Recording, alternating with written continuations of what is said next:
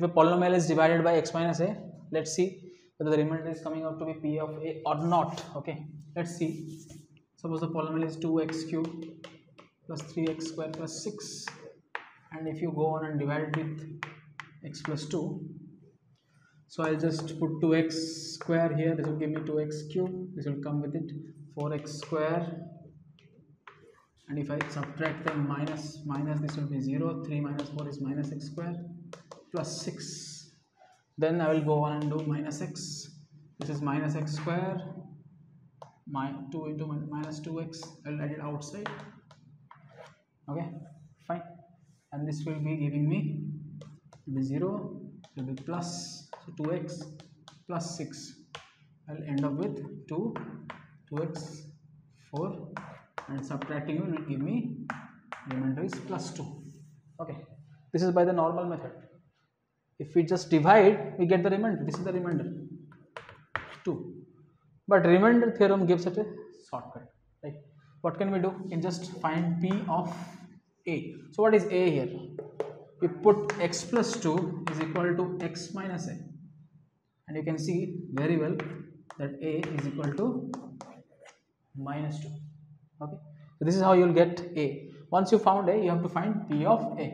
That should be the remainder this is remainder theorem okay? So let's see whether it is working or not. Put minus 2 so you just need to find the value of the polynomial where x is equal to minus 2 or a. And that should give you the remainder. Let's see what happens. This is the polynomial 2 into x cube minus 2 cube plus 3 into x square minus 2 square plus 6 so this is 2 into minus 8 this 3 into 4 plus 6 this gives me minus 16 this is plus 12 this is 6 12 plus 6 is 18 minus 16 is 2 so you can see both of them are same. So this is a rather fast way by using remainder theorem. You can easily find out the remainder in two three lines by just putting the value of a in place of the polynomial. Whereas in a long division you take a lot of time to divide and find the remainder actually this is the remainder right? But there is one difference. In long division you get the quotient.